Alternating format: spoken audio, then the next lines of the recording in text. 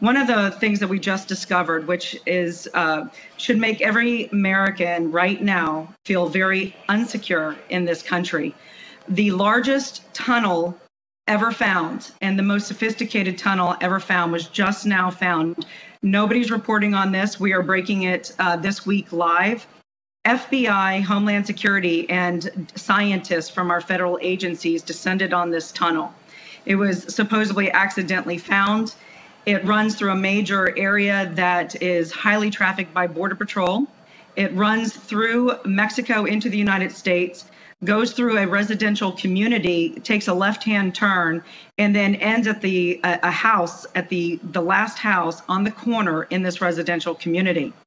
This tunnel has fiber optics, electricity. It has a rail system in it. It has fortified walls, ceilings. Uh, it, it is a very huge concern. And what I'd like to do is connect the dots on a couple things. Uh, when I see stuff like this from a, from a strategy perspective, militarily, I, I look at why would this be going on? And this tunnel is 25 feet under the ground looking at it, my uh, security team that travels with me and people with very special skill sets, they also understand how um, mining works. And there is no way possible, in our opinion, looking at this, that our government, somebody did not know that this tunnel existed. So my question is, what are the scientists doing there? What is the FBI doing there? What are they trying to cover up? Um, mm. We know that Iran and Russia and the cartels are working hand in hand together. This is a fact.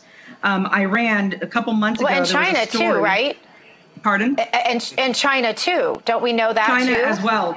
Well, China absolutely. So China controls right now Central South America and into Mexico. They control the trade routes. Uh, they're also getting ready to control huge portions of the Panama Panama Canal on both sides. Russia, um, about nine months ago, re-upped a, uh, uh, with the Nicaraguan president to bring in more military presence under the disguise of training. Mm-hmm. There was a plane that landed. It took off from Iran, from Tehran. It landed in Cuba, then it went to Mexico, picked up two passengers. Then it ended up in Venezuela, not just July, by the way. This is just recently. On that plane were were senior officials in Iran uh, Quds forces. And if you don't know who Quds forces are, Quds forces are basically the equivalent to our Green Beret. And the individual who was flying that plane was one of the head members of the Iranians Revolutionary Guard. We've gotten yeah. intel that the Iranian Revolutionary Guard in Iran is working with the cartel. They have some training camps set up over in Central America and Mexico, and they are building a proxy army.